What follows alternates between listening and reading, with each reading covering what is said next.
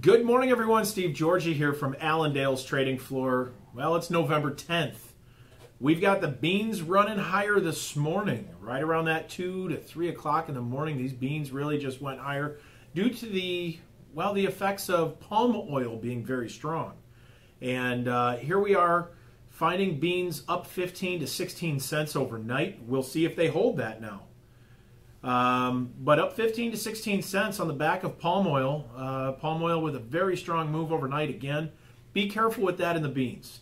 When you get a rally in beans due to palm oil, typically that rally doesn't last too long. Um, but we'll see if those effects can linger here today. Big thing is USDA report yesterday. Big numbers. Corn, 2.403 billion carryout. That's a massive number for corn and for beans. Trade was expecting 420 million carryout. We got 480.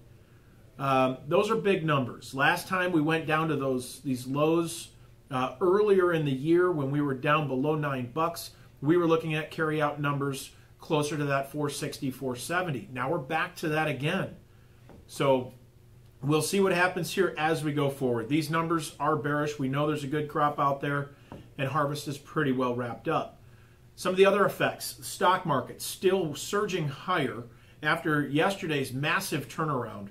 Um, and we've got uh, we've got the stock market up almost 100 points right now again for the Dow, S&P a little bit higher here as well. So we'll see how we finish the day. But there's a lot of optimism just around commodities in general, and so we'll see. That's everything but crude oil. Crude oil dropping back down more than 70 cents again here today.